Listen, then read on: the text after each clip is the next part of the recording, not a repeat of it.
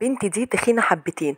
جاية تلبس البوت بتاعها بتاع كل سنة تقفل في السوستة مش عايز يتقفل لغاية ما اتقطع نصين ياعيني قام خطيبها اداها الجاكيت وقال لها خدي البسيه. طيب انتي بتقفلي الجاكيت ليه؟ انتي مفيش حاجة بتتقفل معاكي. حاولت تقفله اتقطع هو كمان. قال لها تعالي يا ستي نروح نجيب لك جاكيت جديد في اليوم اللي مش فايت ده. هي تركب وراه على العجلة نيمتها له.